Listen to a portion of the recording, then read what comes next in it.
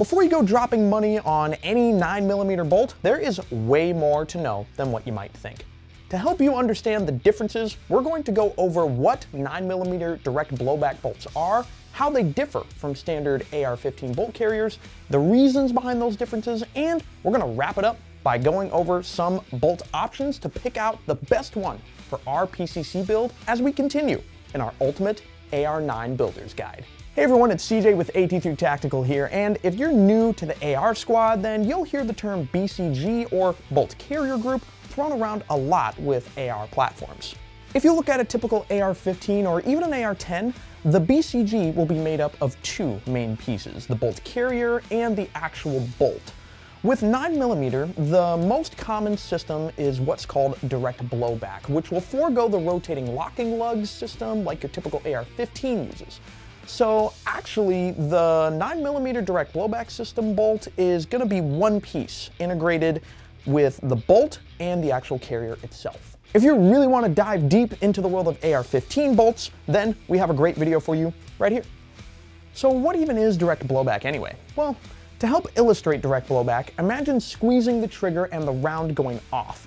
The pressure pushes the bullet out of the barrel, but the pressure from the bullet going off also pushes back on the bolt. In a 9mm direct blowback system, that's all it takes to cycle the gun.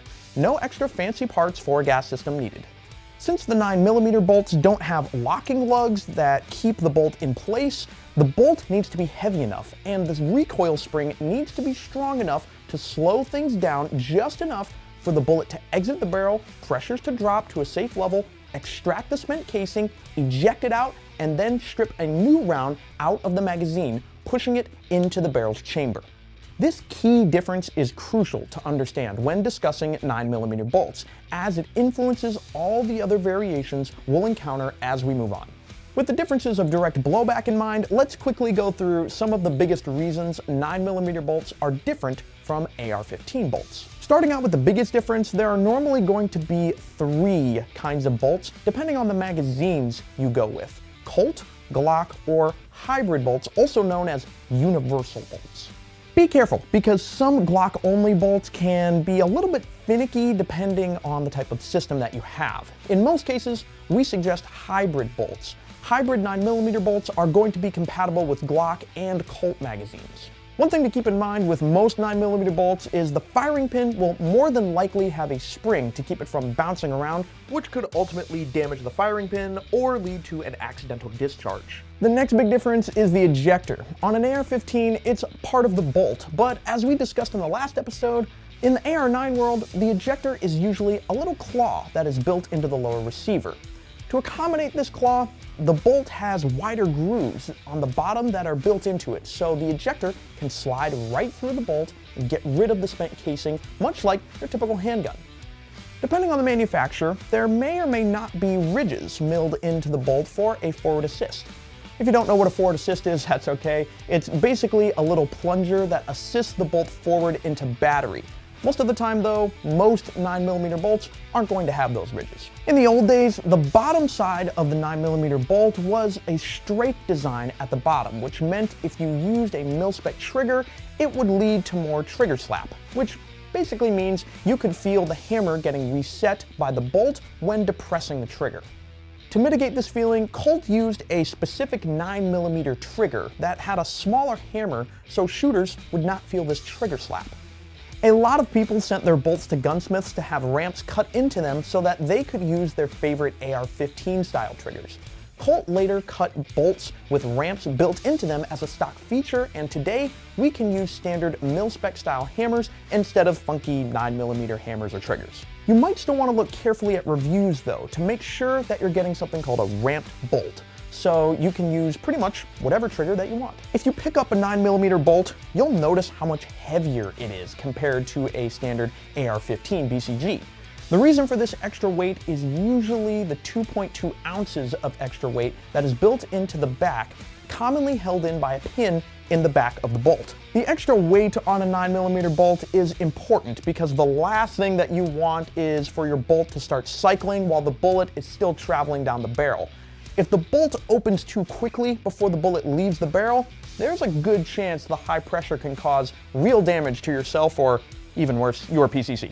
Some people will even remove the weight to help with tuning, but we'll get into that a little bit later in this series. But be careful if you want to do this because some of these weights are going to weigh differently and have different roll pins keeping them in place. So keep that in mind because not all of these weights and pins are going to be standardized. And honestly, that can be said about 9mm bolts in general because you're going to find all kinds of bolts out there, like some that have a two-piece design, like the Aero Precision EPC9 that have a shortened bolt with a large plug on the back to accommodate and change the weight in and out.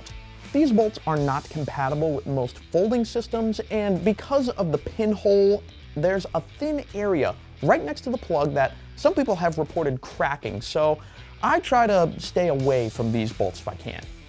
There are also bolts out there that have different bolt faces, internal extractors, special coatings for better recoil management, or even some that help enable last round bolt hold open, but honestly, all of these differences are going to be specific to the manufacturer. So when you're picking out your own 9mm bolt, spend some time and do some of your own homework to figure out what bolt is going to work well for you and what features you value. Let's move on and pick out a bolt for our own 9mm build. Before we do that, I gotta bring up two other options that you may want to look into. There are systems out there that are called roller delay and other systems that use something called radial delay. Both of these options are similar to direct blowback. However, as the name says, they will delay the movement of the bolt after the bullet is fired. By delaying the movement and soaking up the energy, you can actually use lighter bolts than you would normally in a direct blowback system, thereby reducing recoil. So if you're looking to build the ultimate lightweight PCC or reduce recoil even further, you may want to look into these systems. If you want us to do a deep dive into roller or radial delay bolts, let us know in the comments because there's a lot to talk about here, but for now, let's move on to picking out a bolt for our own build. The first bolt we're gonna look at is a solid choice for almost any AR9 build. Our AT3 9mm bolt is priced right, backed by our lifetime warranty, of course, and it's compatible with captured buffers like Armaspec and JP buffers, but we're gonna talk about those in later episodes. It's coated with black nitride, which means the bolt is durable, easy to clean, and the ramp design allows you to use almost any trigger that you want, like we talked about earlier. And since it's a hybrid bolt, you can use either Glock or other types of magazines as long as you have the proper lower and upper receiver. It's a basic bolt and it gets the job done reliably at a good price and can't really ask for much else than that. For those seeking enhanced reliability in their AR9 build, the Faxon Firearms Black nitride 9mm bolt is a good choice. Faxon has made some big improvements to key components like the extractor, carrier key, and firing pin, all in their second generation bolt. I did some of my own digging and found a ton of positive user reviews. It's clear to me that this bolt delivers consistent and reliable performance. So, if you're looking for a little bit of an upgrade over the AT3 bolt, then you may want to check this one out. All of that is to say, maybe don't buy into the hype of any company telling you this will make your gun run perfectly. At the end of the day, companies may claim to have some fancy tricks and design enhancements, but a lot of these bolts work basically the same way. So do some of your own homework and pick one out that works for you and of course, your wallet. The bolt that I'm gonna go with though is, no surprises, our AT3 9mm bolt. It's going to be just fine in the Angstadt upper and lower receiver that we picked out earlier, and we've had no complaints about reliability when it comes to this guy. We also have a lifetime warranty that I look for in almost all the products that I try to go with, just for that little extra peace of mind. Now that we have our bolt all picked out, it's time to pick out arguably the most important part of any gun, the barrel. Except, how do different barrel lengths affect bullet velocity? Well, I wanted to find out. So we're going to go out to the range and test five barrels to get to the bottom of which one is gonna give us the best possible performance in next week's video right here. So if you want to see what barrel we're going to end up with after all those tests, we'll see you over there.